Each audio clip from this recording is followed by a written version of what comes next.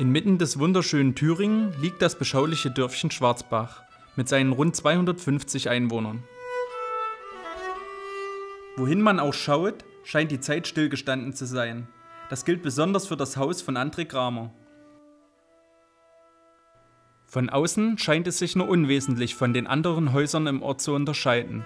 Doch wirft man einen Blick hinein, so ist es, als hätte man einen Zeitsprung ins tiefe Mittelalter vollzogen. Schwere Rüstung, Schwerter und Morgensterne zieren nahezu jedem Raum im Hause des 46-Jährigen, der in seiner Freizeit als Teilvorsitzender eines eigenen Rittervereins fungiert. Also unser Verein, äh, das wurde damals im Jahre 1996 bei der Gründung lang hin und her überlegt, hat sich am Ende entschieden für eine lateinische Bezeichnung, Signum Aquilarum, Signum wie das Zeichen Aquilarum wie der Adler, weil zu damaliger Zeit, man sieht es auf dem Schild, unsere Fahne fertig war. Die Fahne zeigt einen Adler auf gelbem Grund und also heißt der Verein übersetzt gesagt im Zeichen des Adlers. Äh, das bedeutet, wir waren oder wären eigentlich unter der kaiserlichen Fahne unterwegs gewesen.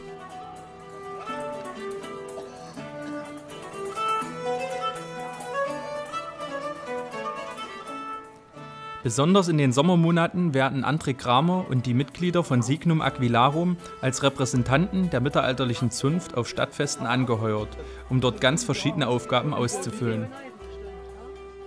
Sind wir zum Beispiel zu einem Umzug bestellt, dann laufen wir zu diesem Umzug mit, stellen irgendwelche ein Bild mit dar. Sind wir als Stadtwache bestellt, dann äh, passen wir auf, dass das nicht Schwarzfahrer rein in die Veranstaltung gehen. Also wir reisen sozusagen die äh, Eintrittskarten einmal durch. Oder wir sind dann äh, direkt als, als Hauptveranstalter mit engagiert. Das heißt Schaukämpfe, äh, Kanonenböllern, äh, Feuer zeigen, also an, Anmachen von Feuer wie vor 500, 600 Jahren mit, mit Feuerstein und, und, und äh, Eisen dazu oder eben nur unser altes Lager darstellen, das heißt wieder mit äh, Tontöpfen, mit der Küche, die dazugehört. Wir machen auch oder versuchen es, mittelalterliches Essen nachzugestalten, was nicht jeden Gaumen unbedingt mundet. Bevor es losgeht, wir wollen quasi hier einen Ritter aus dem 13. Jahrhundert, das ist übrigens der Knappe, das ist der Ritter. Von angezogen zu ausgezogen. Vielleicht vollenden, mal sehen, wie das Volk mitspielt. Ein ganz besonderes Highlight im Showprogramm von Signum Aquilarum ist der sogenannte Ritterstriptease. Dabei wird den nicht nur weiblichen Zuschauern auf illustre Weise erklärt, was man als Ritter im Mittelalter so drüber und drunter trug.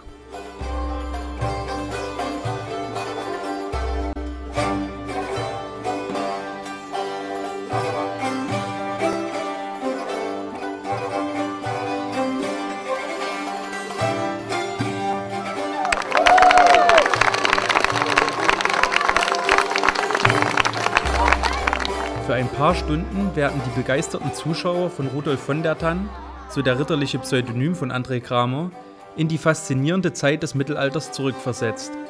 Doch war die damalige Zeit wirklich so schillernd und so vergnüglich, wie sie uns hier vorgespielt wird? Worin liegen denn die größten Unterschiede zur heutigen Zeit?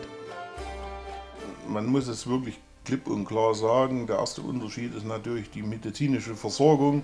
Damals hatte ein normaler Erdenbürger sicherlich, falls er überhaupt so alt geworden ist, mit 25 Jahren keine Zähne mehr, beziehungsweise nur noch schwarze Stumpen oder so vereinzelte Stumpen. Davon äh, kann man ja immer weitergehen. Äh, man braucht in der heutigen Zeit oder man ist es einfach gewöhnt, die warme Dusche, das Bad, die regelmäßige Hygiene, was damals absolut äh, in weiter Ferne war. Dass das Leben der damaligen Zeit aus heutiger Sicht alles andere als gesundheitsförderlich war, zeigen viele weitere Beispiele. Bei kleineren Vergehen konnte schon die ganze Hand weg sein. Diebstahl zum Beispiel. Die Schwurfinger ist etwas anderes der Fall. Und zwar, wenn man beispielsweise einen Meineid schwört und den nicht gehalten hat, dann wurden die Schwurfinger abgeschlagen und ausgestellt. Woche für Woche finden mittelalterliche Märkte und Feste in ganz Deutschland statt. Die Faszination der damaligen Zeit begeistert auch heute noch die ganze Familie. Dabei ist das mittelalterliche Brauchtum für André Kramer und all die anderen Mitwirkenden weit mehr als ein Hobby. Nur zu gern teilen sie ihre Leidenschaft mit den Besuchern und befördern sie für eine Weile in eine Zeit fernab der Hektik, dem Internet und Mobiltelefon.